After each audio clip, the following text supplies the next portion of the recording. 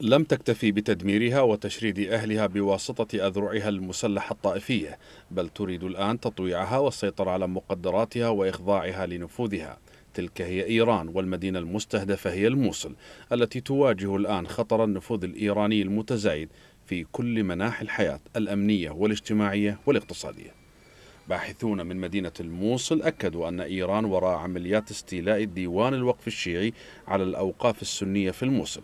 لما لهذا الأمر من أهداف مستقبلية عميقة تتمثل في تغيير هوية المدينة ونسف نسيجها الديمغرافي يعمل على هذا الشيء منذ سيطرة القوات الحكومية والميليشيات الطائفية على المدينة وآثار تلك الأفعال واضحة للعيان. وسكان مدينة الموصل لا حول لهم ولا قوة. أمام فرق الموت الطائفية الخاصة التي تغتال وتخفي قسريا كل ما يدافع عن حقه ضد آلة الإفناء الطائفية.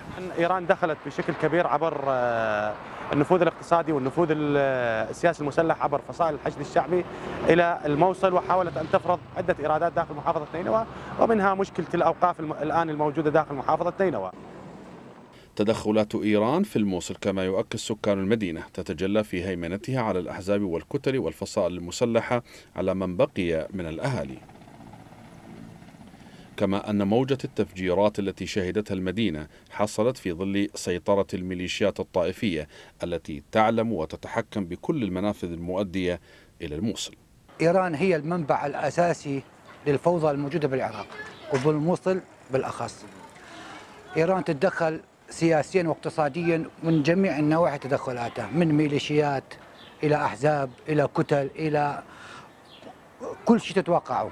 فالإيران تدخلات تدخلات همجية. همجية بحتة تريد تسقط العراق أو بالأحرى تريد تأخذ ثارها من العراق. على أنقاض المساجد والمنازل وفي ركام الشوارع ثمة مشروع طائفي يرسم في وضح النهار وعرفه البعيد قبل القريب. لكن لا حراك حقيقيا لإنقاذ تاريخ أم الربيعين ومستقبلها من أنياب المشروع الطائفي الإيراني.